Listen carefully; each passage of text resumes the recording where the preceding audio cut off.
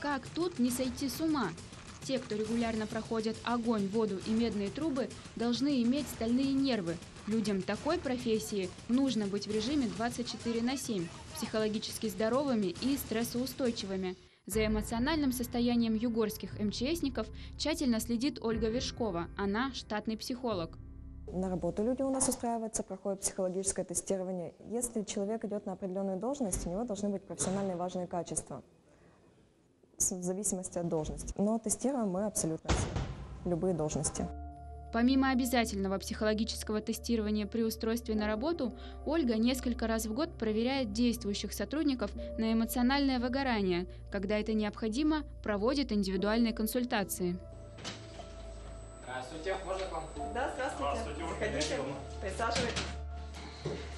Аттестацию, смотрю, давно не проходили, да? Так точно. Ну, надо будет пройти, потом по результатам посмотрим, что у вас, может быть, что-то западает, сделаем. Давайте начнем.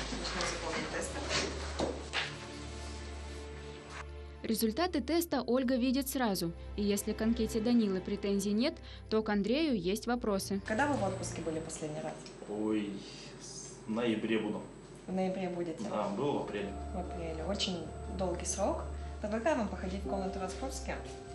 Тесты показали, из-за нагрузки у Андрея проблема с вниманием.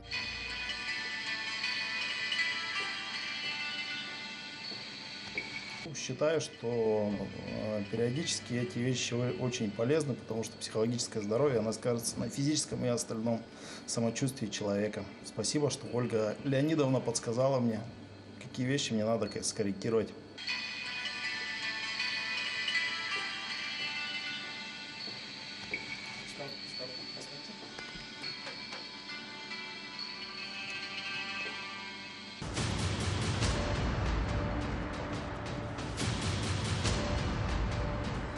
Ее служба и опасна, и трудна. Помимо работы с сотрудниками МЧС, Ольга выезжает на ЧП, где работает с пострадавшими и их родственниками, ведет переговоры с людьми, что решили свести счеты с жизнью, не раз спасала их от суицида. И как тут самой остаться психологически здоровой? Бывали случаи, когда я тоже обращалась к психологу после чрезвычайных ситуаций каких-то. Еще один обязательный метод психологической проверки – имитация чрезвычайной ситуации, с которой нужно справиться новичку.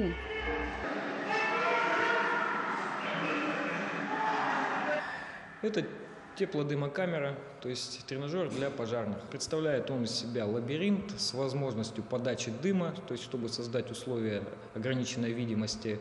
Э, Также здесь есть симулятор э, различных искрений, то есть свет меняется. Есть э, возможность увеличения температуры.